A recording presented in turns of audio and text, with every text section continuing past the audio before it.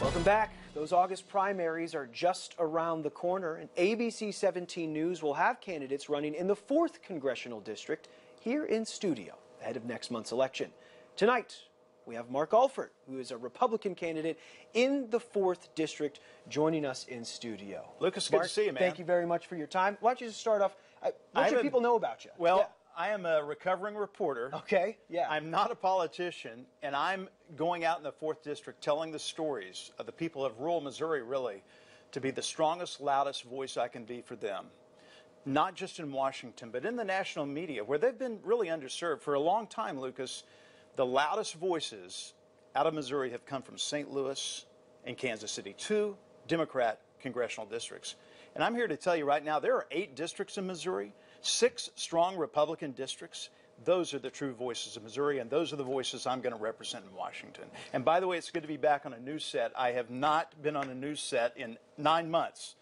So Well, welcome. I hope this you. doesn't trigger anything that you start shoving me off the desk and start anchoring. you do a great job. Well, thank you for saying that. I do want to ask you about the district itself. Sure. What do you think about this? I mean, we've seen a lot of you know redrawing maps throughout Right. this year to finally settle on this. Uh, what do you think of this yes. district? That do you think suburban Kansas City, which is you know part of this district, really has much in common with northern Boone County and the western side here? I mean, what do you think of the? I tell you the way they district? divided it up, and it took the Senate long enough to do this. I was waiting for more than a year for them to come up with a map, and everyone else in this race was as well, so we could know exactly where we needed to be, who we needed to talk to, and who we needed to tell their stories. Everything in eastern Jackson County, east of Seven Highway there, uh, which is a pretty large portion of Jackson County, is now in the 4th Congressional District. It also moves Lafayette County and Saline County, just above I 70, into the 4th Congressional District. Now, get this we have 95,000 farms in the state of Missouri. Did you know that? It's a lot of soybeans and corn that not just feed Missouri, not just feed the nation, but feed the world. A lot of those farms are in these communities, those two counties, Lafayette, Eastern Jack, and Saline, but they were represented by Emanuel Cleaver out of the 5th Congressional District. And so when you have urban concerns like May, uh, Mayor Cleaver, he used to be mayor, Sure. uh, Con- Congressman Cleaver has, it's hard to get adequate representation. They felt for the longest time that they were underserved and undervalued. And when it came down, that they were going to be back in the 4th Congressional District where they belong, it was like a party. And they were so exciting and welcoming to have someone like myself who's going to be that strong voice for them. I want to ask you about some of the issues you have on your Sure. website. One of the first ones there, election integrity. Yes. Uh, under that, you mentioned that you want some sort of investigation into how the 2020 election Yes. went. I, I bring that up. We had Taylor Burks, former Boone County clerk, Right. here saying we need to move on from the 2020 election, how it happened, in talking about election integrity. What? Why do you want to go back to that? What specifically? Uh, what, what specifically Sure. do you want to look in there? Fair question. Lucas, you know, when you drive a car, the rearview mirror is a lot smaller than the windshield. Because we need to look where we're going is more important than where we've been. However, when something such magnitude that we had of the 2020 election happens, we've got to fully investigate. And until we do, until we find out exactly when on, I don't know if you've seen 2,000 Mules, we showed it at our, our headquarters. There are so many discrepancies and so many questions that have just been glossed over.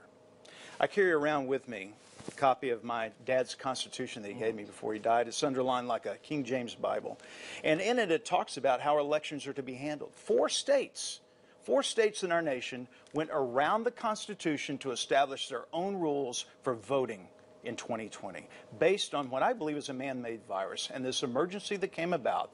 And they were able to really, I think, in a lot of ways, overturn the will of the people. But I mean, with 2,000 Mules, a lot of the issues there, I mean, a lot of their evidence is on geo tracking and things like that. And there's been, I mean, look, there's been several fact checks out there as well on that, doubting even the evidence that Truth the Vote put out with with that. Are you just not satisfied with? The, I think if a tenth- other investigations I think have been if done on this a tenth of you- it is true in 2,000 Mules, that we are in trouble as a nation. There was so much doubt cast and so many answers that still need to be questioned until we get, uh, and we will take back the House. Make it clear this November. We're taking back the House, and I think we're going to take back the Senate. And when we do those investigations are going to begin, we're going to investigate the 2020 election. Of course, Missouri has already changed its voting laws, which is great. I think we need to get back to paper ballots. I'm so Mm-hmm. happy that we have the voter ID law, where you have to have a, a photo voter Sure, ID yeah.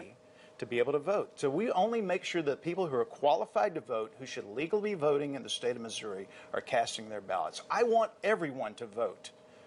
Even if you're not voting me, I want everyone to vote and have their say, but we've got to do it legally. Mark Alford, as a veteran of the news, Yes. I'm sure you know our constraints on time as well. There's so much I wish I could talk to you more about. Um, and I come but back tomorrow. No. but I really appreciate your Thank time, you. sir. Thank you very Thank you much. so much. Absolutely. Thank you. Now be sure to keep watching ABC 17 at 6:30 as we finish out this week with one more candidate running in the 4th district. Tomorrow, for our final interview this week, we'll have Kalena Bruce to talk about her campaign.